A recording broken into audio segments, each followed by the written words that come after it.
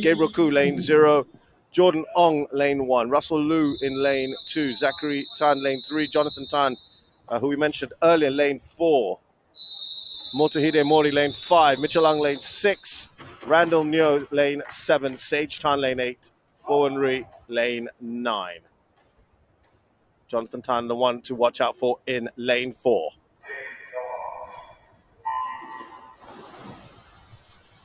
And actually, it's a, it's a good start as well. Lane five by Motohiro Mori.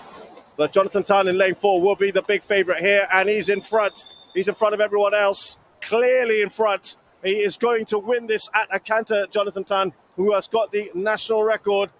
Very, very comfortable for Jonathan Tan.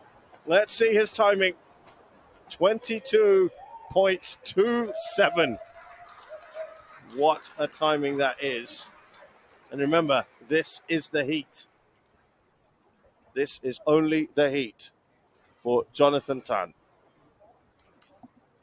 He is uh, well within the Asian Games qualification record.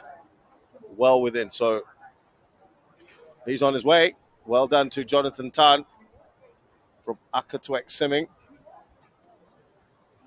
Nicely done. And he will be in the final as well. Jonathan Tan, superb swim from him. He did come in to this heat as the favourite. And he is not disappointed.